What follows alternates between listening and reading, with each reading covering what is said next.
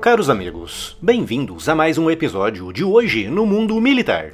Neste vídeo falaremos sobre aquilo que muitos congressistas afirmam ser o novo eixo do mal, formado pela Rússia, Irã, China e Coreia do Norte. Mas o que seria exatamente isso e por que os Estados Unidos temem tanto esse grupo? E se ainda não está inscrito no canal, inscreva-se já e acione o sino das notificações para não perder nenhuma novidade. Em um discurso feito poucos dias antes da votação no Congresso dos Estados Unidos, que liberou um pacote de 95 bilhões de dólares em ajudas militares para a Ucrânia, Taiwan e Israel, o congressista republicano Mike Johnson, o speaker do Congresso de maioria republicana, disse que Rússia, Irã, China e Coreia do Norte são países governados por ditadores e que juntos formam o novo eixo do mal. Um discurso semelhante foi feito por Michael McCall, um congressista também republicano, que em uma declaração feita poucos dias antes da votação no Congresso, se referiu à Rússia, Irã e China como o eixo do mal. Mas por que toda essa referência ao eixo do mal e por que os Estados Unidos temem tanto esse grupo de países? A primeira vez em que um governante usou a expressão eixo do mal foi em janeiro de 2002, com o então presidente George W. Bush referindo-se ao Irã, Iraque e Coreia do Norte, governos que, na sua visão, patrocinavam o terrorismo internacional e buscavam obter armas de destruição em massa. Na primeira década do século XXI, durante os dois primeiros mandatos de Vladimir Putin, a Rússia manteve sempre muito boas relações com os Estados Unidos, com o presidente Bush referindo-se frequentemente a Putin como um amigo sincero. E por isso, na visão norte-americana, o grupo de países no tal eixo do mal não incluía a Rússia após a invasão do Iraque em 2003, que resultou na queda de Saddam Hussein, o Iraque foi retirado do grupo, que passou a contar apenas com Irã e Coreia do Norte. No início do século XXI, a China ainda estava dando os primeiros passos em um amplo processo de modernização e crescimento que abrangia também as suas forças armadas. Por isso, naquela época, a China não era vista como uma ameaça aos Estados Unidos e aos seus aliados no Pacífico. Foi só, bem recentemente, principalmente depois do início da invasão russa da Ucrânia, que a Rússia e a China começaram a ser citadas por políticos norte-americanos como membros do tal eixo do mal.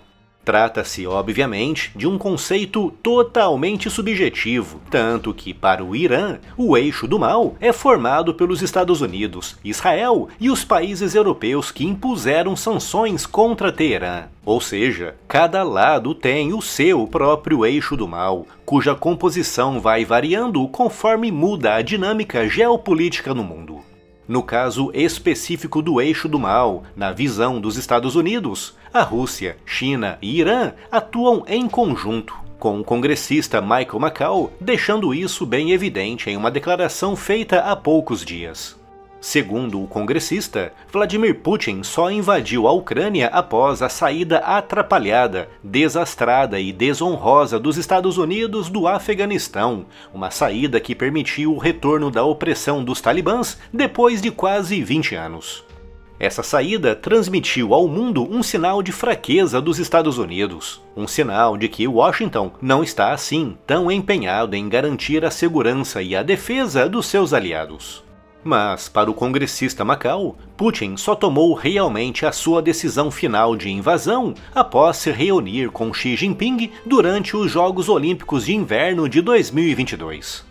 No início de fevereiro, Putin e Xi Jinping estiveram reunidos por longas horas a portas fechadas, com um congressista e diversos outros analistas acreditando que foi ali, durante aquela reunião, que Putin tomou a fatídica decisão de invadir a Ucrânia. Uma reunião que pode ter servido para a China dar à Rússia garantias de não intervenção e de apoio econômico e diplomático que é, aliás, exatamente aquilo que a China está fazendo neste momento com a Rússia.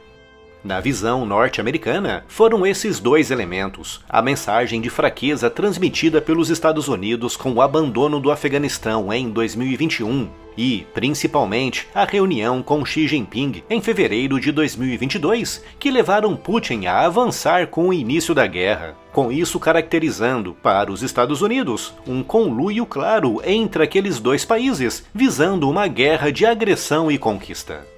O Irã é colocado nesse grupo, primeiro, pelo seu programa de mísseis balísticos e de armas nucleares, e segundo, por, de acordo com o governo dos Estados Unidos, também atuar em conluio com a Rússia.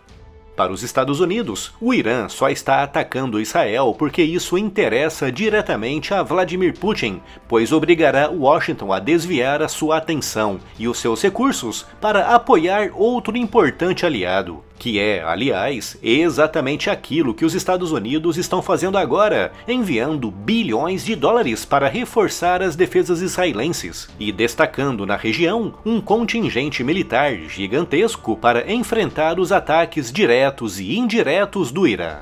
No caso da Coreia do Norte, sempre que o ditador Kim Jong-un lança um míssil ou ameaça atacar o Sul, os Estados Unidos são obrigados a intervir, seja de forma direta, através de grandes e caros exercícios militares na região, ou de forma indireta, através do apoio e do reforço militar e financeiro dos seus aliados no Pacífico.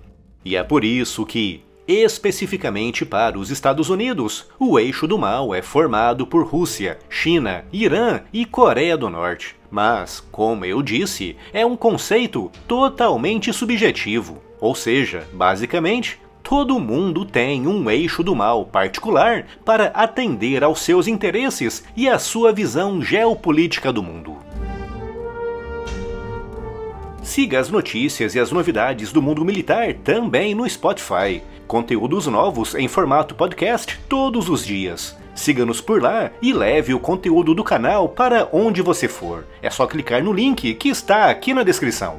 Um, I think providing lethal aid to Ukraine right now is critically important. I really do. I really do believe the intel and and the briefings that we've gotten that that, um, that I, I, believe Xi and, and, and Vladimir Putin and and Iran really are an axis of evil. I think they're in coordination on this. I think that Vladimir Putin would continue to march through Europe if he were allowed. I think he might go to the Balkans next. I think he might have a showdown with Poland or one of our NATO allies.